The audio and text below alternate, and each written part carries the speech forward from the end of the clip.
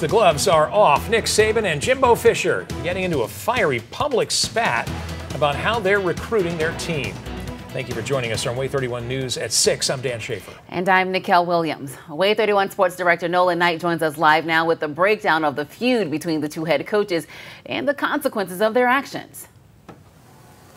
Yeah, things got so heated that the SEC commissioner within the last two hours reprimanded both head coach Nick Saban and Texas A&M head coach Jimbo Fisher for their back and forth from last night and then this morning. So much so saying that the NCAA will go through policies to check to make sure that neither coaches went through anything wrong. Now, this all started after Alabama head coach Nick Saban accused Texas A&M of buying players through the name, image, and likeness deals. Head coach Jimbo Fisher denied doing any wrong wrongdoing this morning in a press conference and came after Saban in a nine minute plus rant, calling him a narcissist who gets upset when he doesn't get what he wants. Fisher says Saban did try to call him last night to talk, but as you'll hear, the two aren't really on speaking terms right now.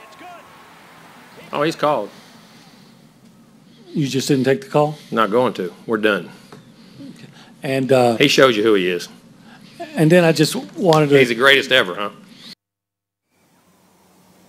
SEC Commissioner Greg Sankey says both coaches failed to act according to their expectations of behavior and sportsmanship. Public criticism of any kind he added in a quote, does not resolve issues and creates a distraction from seeking solutions for the issues facing college athletics today. Now, Nick Saban did apologize for his comments on Sports Talk Radio today, although saying that he still stands by his philosophy. He just wished that he hadn't called out both Deion Sanders and, of course, Jimbo Fisher of Texas A&M. But with all that being said, it was a perfect day for Sports Talk Radio hosts across the country. Reporting from Oxford, Alabama, I'm Nolan Knight. WAAY 31 Sports.